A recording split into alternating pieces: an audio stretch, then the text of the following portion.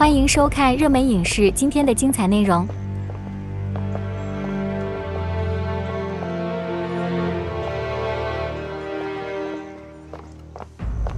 你们到我府上有何贵干呢？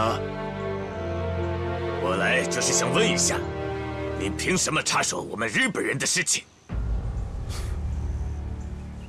哼，我倒奇了怪了，我什么时候插手你们日本人的事情了？你自己做了什么事情，你自己心里清楚。梧桐路的那把火，你倒是烧得痛快啊！大哥。他就是来捣乱的，你别理他，这事儿我来处理。嗯，人家指名道姓要找我，我要是不面对，倒显得我理亏了。今天我只要你一句话，只要你答应从今以后不再多管闲事，老老实实做你自己的生意，我带人马上走。我要是不愿意呢？那我就要领教一下唐爷的身手了。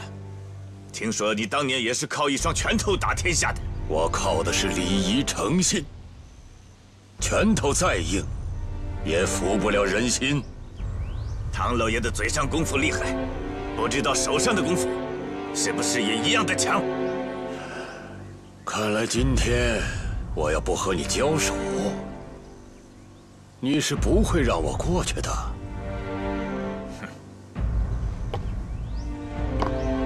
明教，您歇着，我来对付他。哎，老刘，很久没动手了，我倒是也想活动活动。你在一边看着。好。嗯。嗯。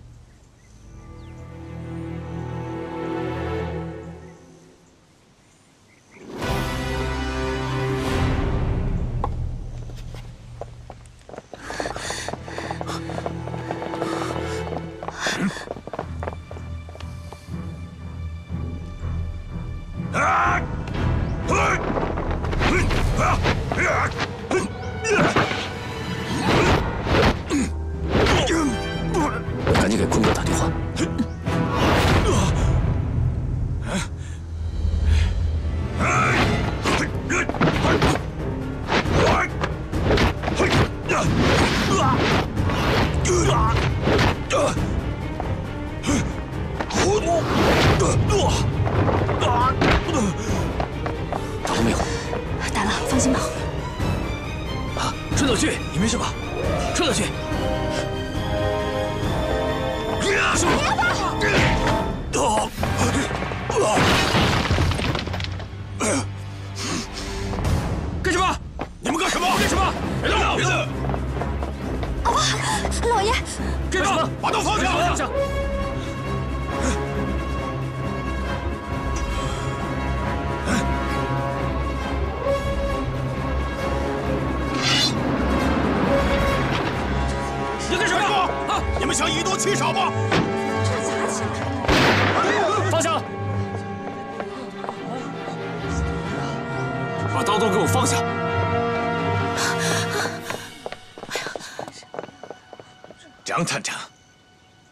只是跟唐爷切磋武艺，你们巡捕房好像管不着吧？这一个个都拿着真刀叫切磋武艺，收起来。嗯。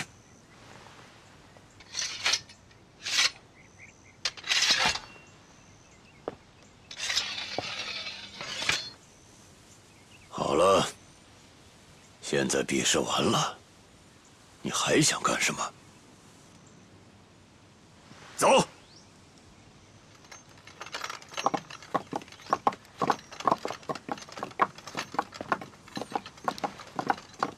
大哥，你真是宝刀不老啊！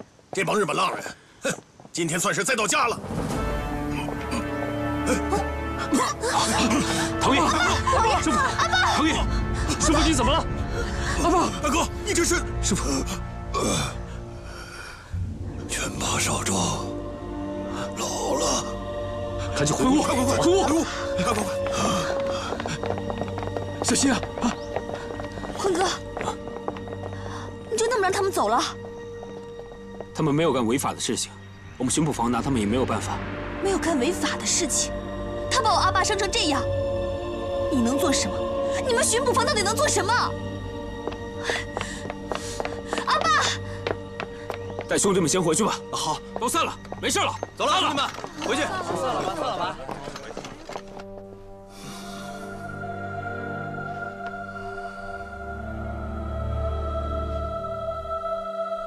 你们啊，太小题大做了，一点小事儿，把你们都给惊动了。阿爸，什么小事儿？您都吐血了。兰儿，阿爸怎么样？用不用去医院？还好，只是伤了肺部，心脏和脉搏都没有什么问题。我觉得还是去医院做个彻底的检查比较好。是啊，好，去医院。去什么医院？这点小伤，让别人看见了不再笑话我呀？唐伯伯，还是去医院检查一下吧。对对对，对呀去医院看你。去看看吧。咱们去医院吧。不用你们都回去吧。啊，我和你六叔呢，还有事儿要说呢。啊那你们去吧，有我在这儿，没事儿。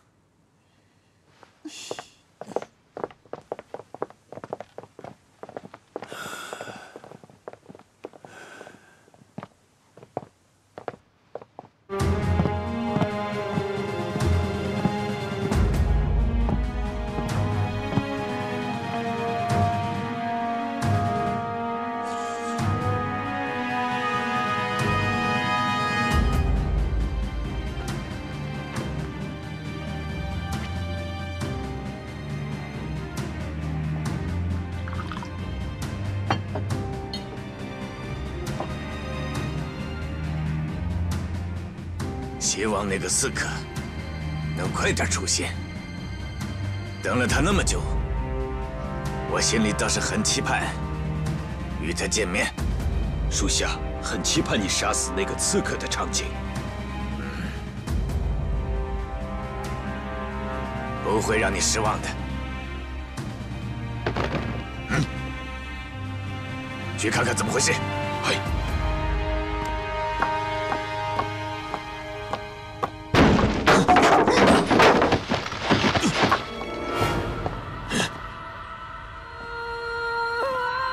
就是那个神秘的刀客。很意外吗？我一直在找你，没想到你竟然明目张胆地找到这里来。来找你，是因为今天就是你的死期。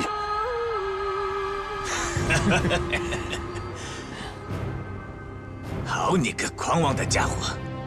我倒要看看你到底有什么本事。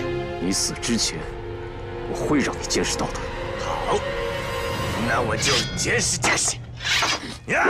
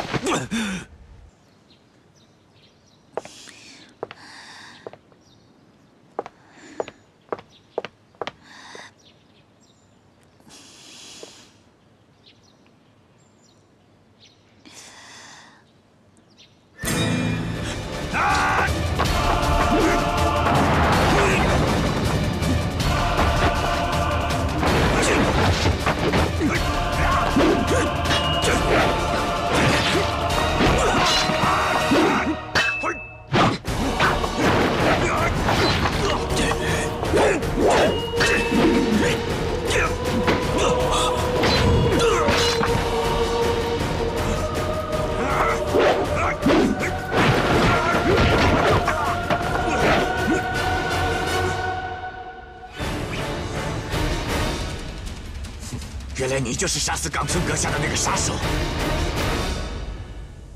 今天你杀了我，你也活不了多久。景川大佐一定会为我报仇的。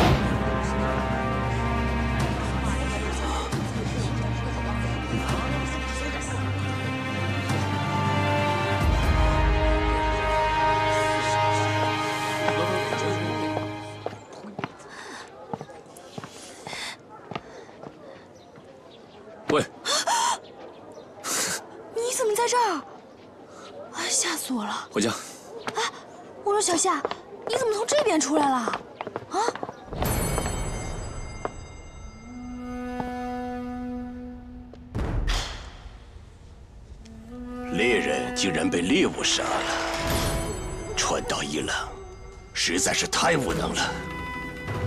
川岛君死得很惨，不仅颈部的动脉被人割断，还从楼上直接跌落到街上。经此一役，景山公馆士气大减，短时间内恐怕很难有所作为。狄处长，你怎么认为？根据现场的情况判断，应该是那个神秘刀客所为。那你们找到了神秘刀客的线索没有？呃哎，坤哥，你怎么来了？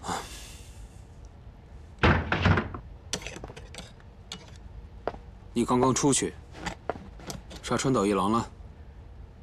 对，川岛伤了我师傅，他死的罪有应得。怎么？你认为我不应该杀他吗？他确实该杀，可你这么做也太鲁莽了吧？你知不知道，我刚刚查到川岛一郎知道那个青木直一的事情。我现在好不容易找到的线索，结果被你那么一杀，我所有的线索都断了。啊？这……哎呀，对不起啊，真的是我太鲁莽了。早知道这样的话，应该留下活口。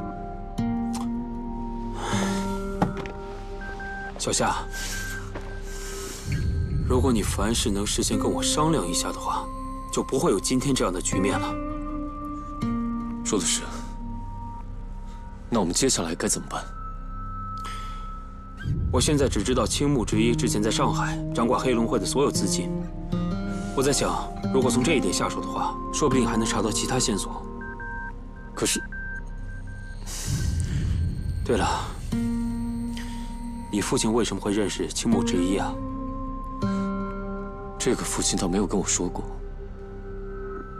小时候我父亲经常外出，基本不在家。也是等我长大之后，才在家里久住的，所以具体什么情况，我也不是很清楚。行，巡捕房的电话你知道，如果你想到什么事情的话，随时给我打电话。嗯，小夏，彩儿，小夏，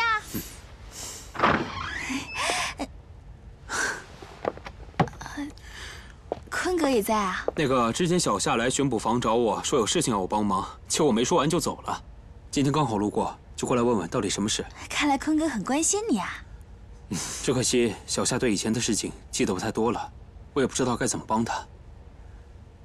那行，我巡捕房还有事，我先走了。嗯。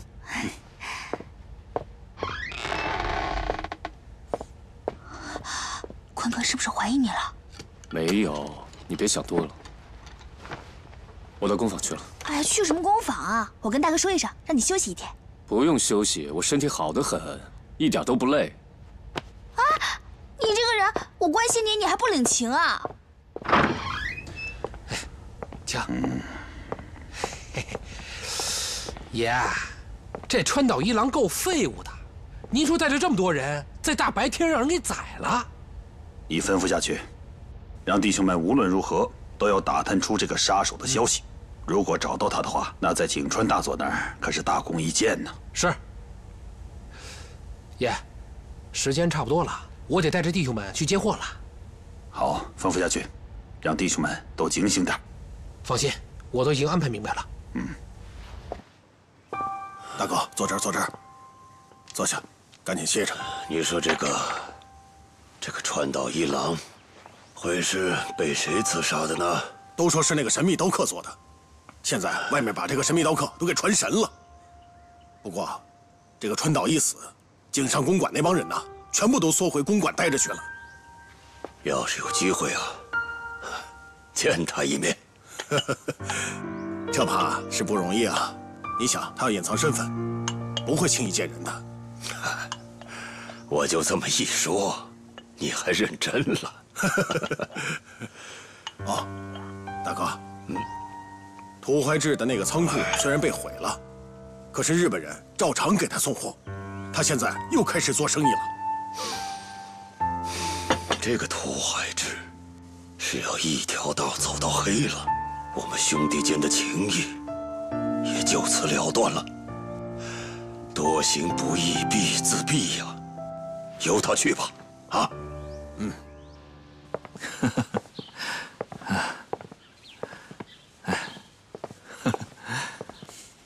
马向东同志，怎么是你过来了呀？怎么，不欢迎啊？哪里的话，当然高兴了。不过你游击队工作那么忙，怎么会有空过来啊？现在上海租界的情况复杂，需要一个熟悉这边情况的人来指挥行动。当然，你是最合适的人选，因为你是老上海嘛。行了，老朱，赶紧把这边的情况跟我说一说。日本军队利用冈村的死，给上海租界施压，上海租界也同意了，允许他们在任何时候进入一小队的兵力。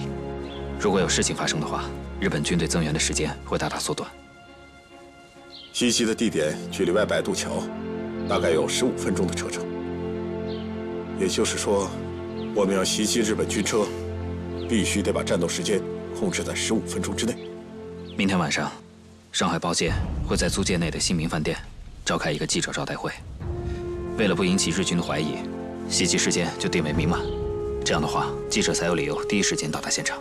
嗯，需要考虑的因素确实很多。这次的袭击行动要成功，一定很困难。老周，我们要克服这些困难，保证完成任务。嗯，明天晚上我去找六叔帮忙安排你们离开，有人会带你们到码头乘船离开。六叔，这个人可靠吗？绝对可靠。六叔是一个有爱国热忱的人，之前我们向外运输的物资药品，多亏了他的帮忙。不过我告诉他要帮忙转移一些爱国人士，还是要隐瞒你们的真实身份。这也没错，我们确实是爱国人士。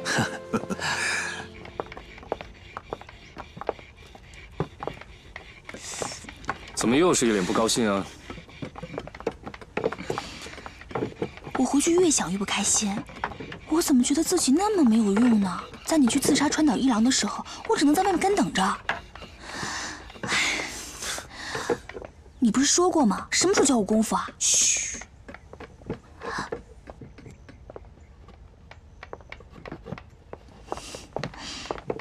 我告诉你，你可不能说话不算数。谁说话不算数了？这是给你的，是刀，专门为你设计的。真的？真的。大哥说了，下午不用开工，我带你去雄记铁匠铺走一趟。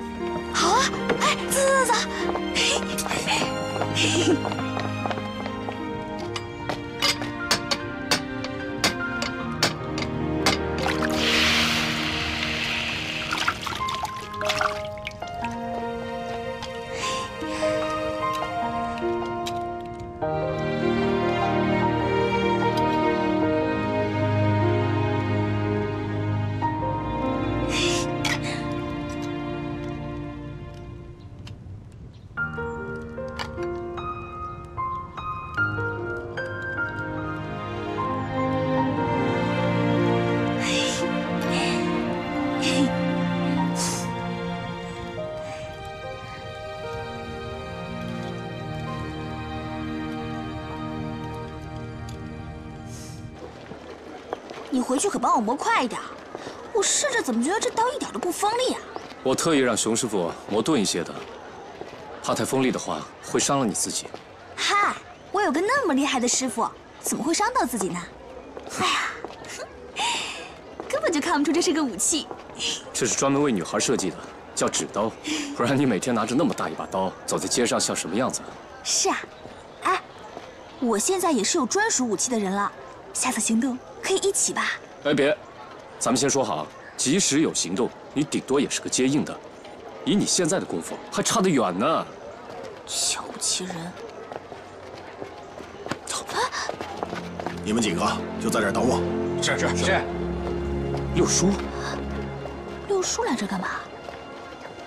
我去看看。哎，少管闲事，走，回去。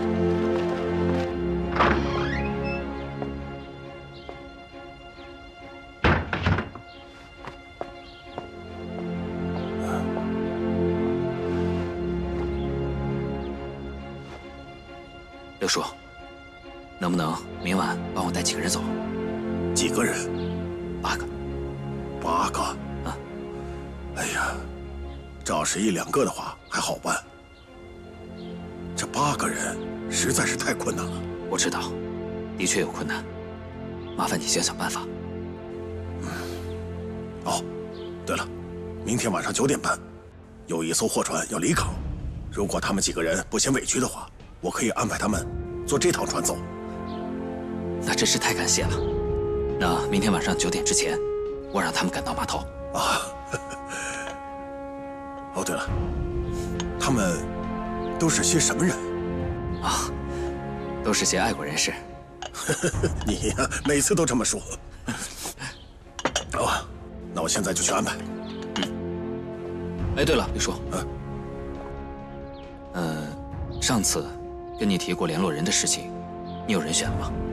哦，人选倒是有一个，不过你让我再好好考虑考虑，好吧？好。那我先走了。嗯。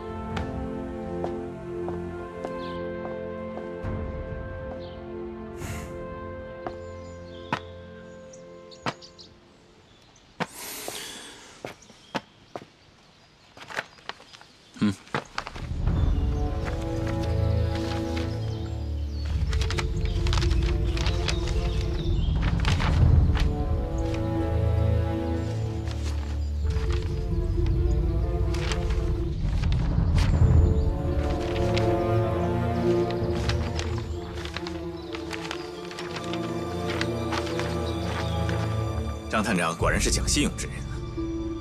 来之前我还在想，军统那边会不会信守承诺？你就算信不过军统，也信得过我吧？做我们这行的，信用很重要。这么说，你一定会对这件事情保密了？